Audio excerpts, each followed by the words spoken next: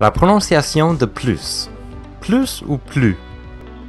Ceci est un mot qu'on voit assez souvent en français.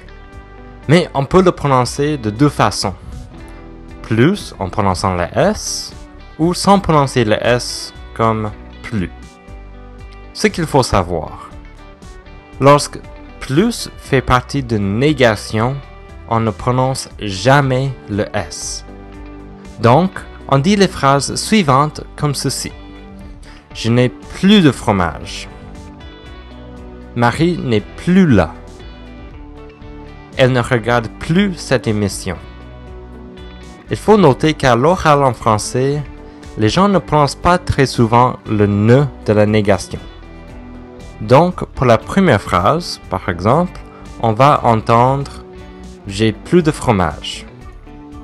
Et c'est pour cette raison que la prononciation de plus est si importante.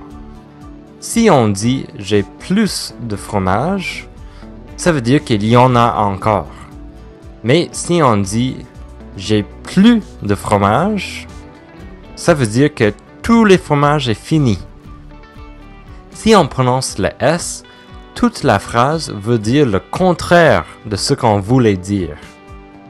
Ça, c'est pourquoi c'est très important. Ensuite, on ne prononce pas de S lorsque plus précède un adjectif ou un adverbe dans une comparaison. Par exemple, Jean est plus grand que Thomas. Je danse plus souvent que lui. Lorsque l'adjectif commence par une voyelle ou un H muet, le mot est prononcé avec le son Z pour la liaison. Un exemple Elle est plus intelligente et plus honnête. Et aussi, on ne prononce pas de S dans certaines expressions. Par exemple, de plus en plus et ni plus ni moins. Dans presque tous les autres cas, le S de plus est prononcé. Il y a plus de neige cette année. 4 plus 4 égale 8. En plus, il a déjà trois téléphones.